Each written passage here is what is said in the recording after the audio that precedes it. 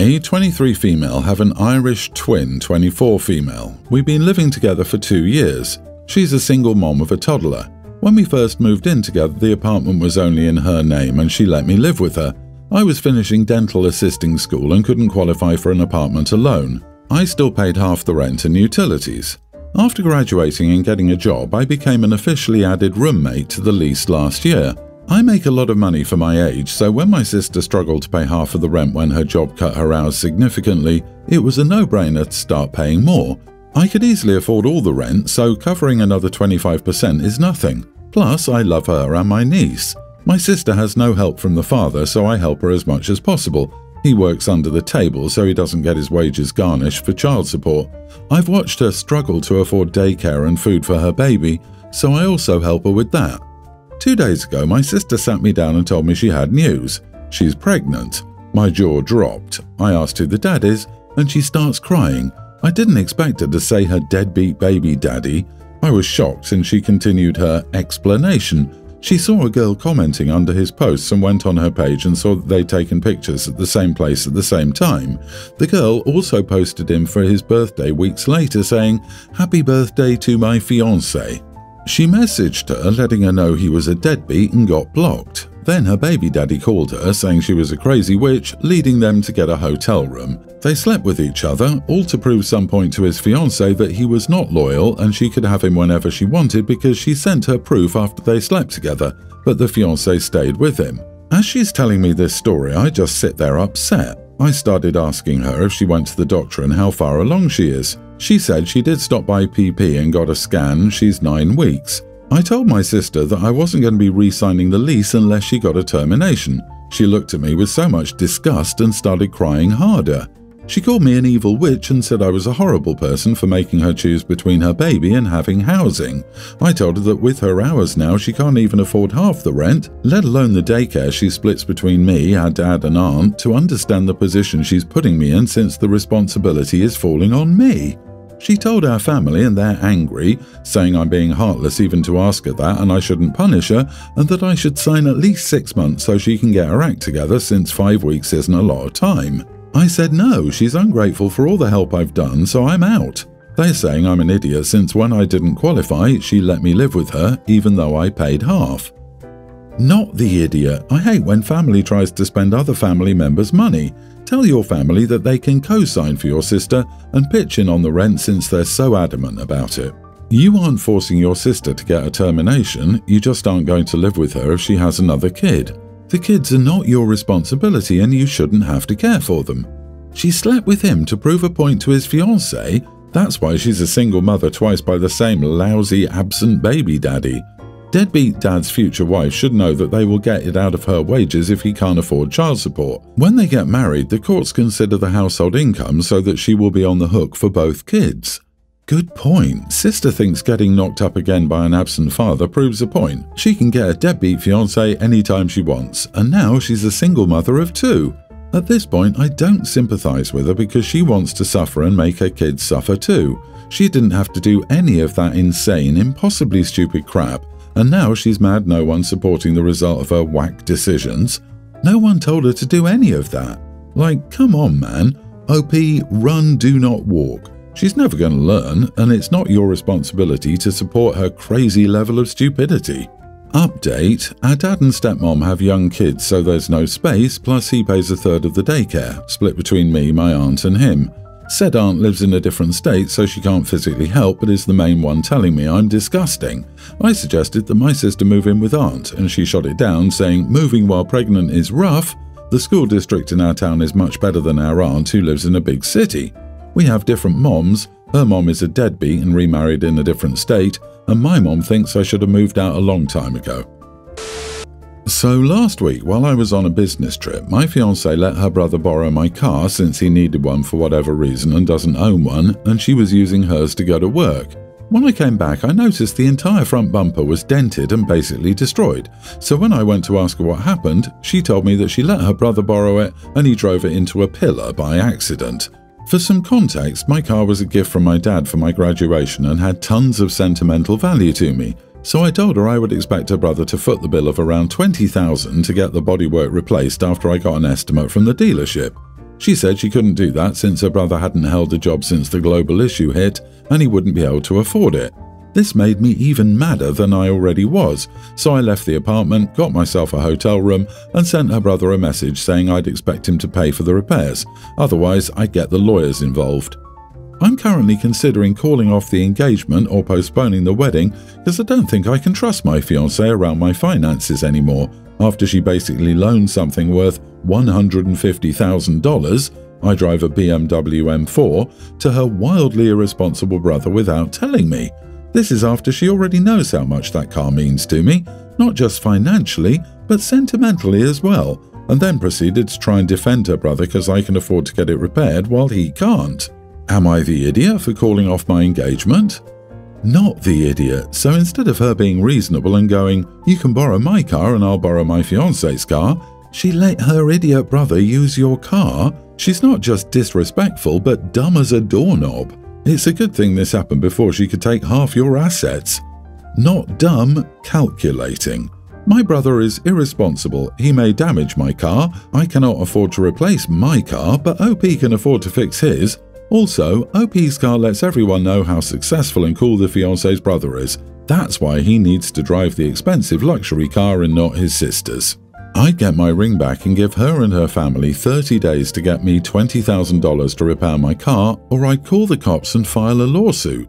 There is no way in heck if you marry her that her brother and other family just start using your stuff. People who do this stuff agree to let deadbeat family members move in for undisclosed stays. This is not a family you want to marry into, OP. Cut your losses. You can do better. I'm a 25 year old man. I have two sisters and six female cousins, all younger than me. All that to say, I'm used to being around girls and young women of all ages. I know how to treat them respectfully as equals and to be a protective cousin or brother when needed. My wife's sister, Rachel, 28, is having some difficulty, and the family is trying to help, including by supporting her daughter, Elle, pre-tween. My in-laws had Elle over for dinner while Rachel was at home catching up on household stuff, and my wife and I were there too. Elle kept talking about a tea party Rachel would take her to the next day. She was very excited about it, like it's all she talked about, haha. The next day, Rachel reached out in the family chat asking if someone could take Elle because she felt sick. Everyone was working except me, so I asked her for the information, picked up Elle, and took her. The event flyer on the door said it was for girls and their moms, grandmas, aunts, godmothers, etc. When I got there, I explained I was standing in for her mother and I asked if I could stay and participate with Elle. They said yes, but I know I was side eyed the whole time. Whatever, I was there so Elle could have fun. We drank tea, coloured pictures, and did a few other activities. At the end, each girl got to take a picture with their adult person, which was supposed to be posted on their social media later, so I took a picture with Elle. The next day, I went onto the group page I had to request access to get the picture to send to Rachel. It wasn't posted with the others. I couldn't figure out who to message, so I left a comment that said, Can I please get the picture of me and my niece? Thanks. I didn't hear anything back, so I decided to check the group again, only to find a post by one of the participants stating how uncomfortable they were with a man at the event. This was followed by comments such as, probably thought he could sneak into the girls' room or something, was probably waiting there to mansplain anything he could. The one that made me so mad I could only laugh was typical to insert a man where he wasn't invited. Other comments expressed anger that I wasn't asked to leave, with one person even saying the police should have been called. The thread was eventually locked and deleted. I haven't looked since. I don't know any of these people. I spoke to maybe one person there and there were more comments than there were even people in attendance. I've only told my wife about this so far because I'm dumbfounded. But am I the idiot for simply taking my niece to an event? Yes, it was for women, but was the better alternative really to not let her participate in something she was excited about after literally driving her to it? I do plan to tell Rachel that I don't think Elle should go back there.